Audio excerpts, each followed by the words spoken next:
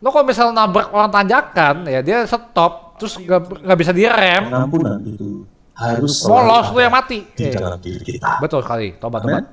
Amin. Pengampunan itu harus selalu ada di dalam diri kita. Oh pasti, pasti, pasti, pasti. Dan itu menunjukkan memang kehendak Bapak untuk saudara dan saya. Betul. Kenapa? Karena Tuhan menghendaki saudara dan saya itu Hah? adalah menjadi orang yang sadar bahwa kita pun Hari ini, hari ini, hari ini, hari ini, hari ini, hari ini, hari ini, hari ini. Sumpah pas banget anjir. Maka Tuhan pun langsung begitu.